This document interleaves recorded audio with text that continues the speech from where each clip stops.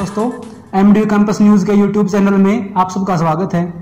दोस्तों, कल 21 तारीख से MDU के एंट्रेंस शुरू हो रहे हैं पीजी कोर्सेज के लिए और 18 तारीख 18 सितंबर को एम उसके एंट्रेंस के लिए एडमिट कार्ड निकलने शुरू हुए थे।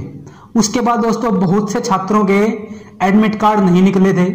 उसके कारण थे कि उनके द्वारा जो फॉर्म भरा गया था, वो गलत तरीके से भरा गया था दोस्तों। जो जब हम फॉर्म फॉर्म भरते हैं, वहाँ चार पाँच पोर्टल हमारे सामने आते हैं दोस्तों तो वहाँ जो एम डी का पोर्टल था, जो फॉर्म था, उस पर फॉर्म भरना था हमको। लेकिन बहुत से छात्रों ने सुपर न्यूमेरी का जो पोर्टल था, उसके ऊपर फॉर्म भर दिया गया। तो 18 तारीख के बाद से ही दोस्तों लगातार हमने छात्रों से संपर्क किया, छात्रों ने हमसे संपर्क किया और उनकी समस्या के समाधान के लिए लगातार वीसी के पास एमडीयू हेल्प डेस्क के ऊपर मेल की लगातार, दोस्तों प्रेस में दिया गया। यूनिवर्सिटी के अंदर मेल की वीसी के पास मेल की गई रजिस्ट्रार के पास मेल की गई। उसके बाद दोस्तों, आज 20 तारीख को 20 सितंबर को मतलब के 40-50 छात्र इकट्ठे होकर यूनिवर्सिटी वीसी के पास गए। पहले वो यूसीसी के अंदर गए, university computer centre. University computer centre के अंदर जब सही जवाब ना मिला, संतोषजनक जवाब नहीं मिला उनसे तो सभी स्टूडेंट इकट्ठे होकर एमडीयू वीसी के पास गए। एमडीयू वीसी के पास जाकर छात्रों ने एप्लीकेशन लिखी और सभी छात्रों ने उसके ऊपर सिग्नेचर किए और प्रशासन को अपनी बात बताई ताकि और प्रशासन ने उसी समय मीटिंग की।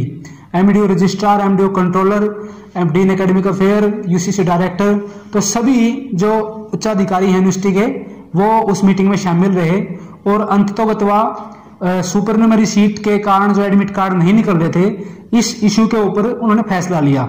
दोस्तों, लगभग वीसी ऑफ़िस के बाहर छात्र छात्राएँ दो से तीन घंटे बैठे रहे। उसके बाद उसी दौरान मीटिंग चलती रही। मीटिंग के बाद जो अधिकारी थे, अधिकारियों ने आकर बताया जो फैसला था। तो दोस्तों, फैसला जैसे का तैसा मैं आपको बताऊँगा कि क्या उन्होंने कहा है। उच्च एमडीयू के अधिकारियों ने और सुपर सीट के कारण जो एडमिट कार्ड नहीं निकल रहे, उनके ऊपर क्या समाधान उन्होंने निकाला है। दोस्तों, अधिकारियों की तरफ़ से कहा गया है कि सुपर सीट के कारण जिन छात्राओं के एडमिट कार्ड नहीं निकल रहे थे आज शाम तक वो उन एडमिट कार्ड को जारी करने की कोशिश करेंगे। उन्होंने दोस्तों फिफ्टी फिफ्टी चांस दिया है। उन्होंने भरोसा दिलाया है कि आज शाम तक हम एडमिट कार्ड निकाल देंगे। इसके अलावा दोस्तों, उन्होंने एक और बात कही है। उन उन्होंने बोला है कि हम उन स्टूडेंट को एंट्रेंस देने का मौका देंगे जिन्होंने सुपर में गलत तरीके से फॉर्म भरा है, गलत, गलती से फॉर्म भरा है। लेकिन उनको जो कंसीडर किया जाएगा, वो बची हुई सीटों के ऊपर किया जाएगा। जैसे फ़र्स्ट काउंसलिंग सेकंड काउंसलिंग के बाद जो ओपन काउंसलिंग होती है, उस दौरान जो सीट बचती हैं, उनके ऊपर उनको कंसीडर किया जाएगा, क्योंकि उन्होंने गलती की है, गलत जगह, गलत पोर्टल में फॉर्म भरा है।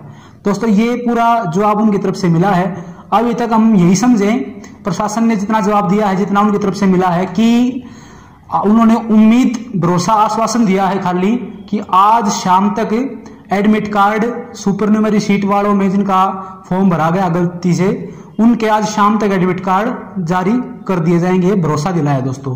पक्का नहीं है, ना पक्का उन्होंने कहा, ना मैं पक्का कह रहा हूँ दोस्तों। बस आश्वासन है उनकी तरफ़ से हो सकता है एडमिट कार्ड जारी हो जाए। उसके बाद दोस्तों, आप जिनके एडमिट कार्ड जारी हो जाए तो आप अच्छे से एंट्रेंस एग्ज़ाम देना, कल से शुरू हो जाएगा।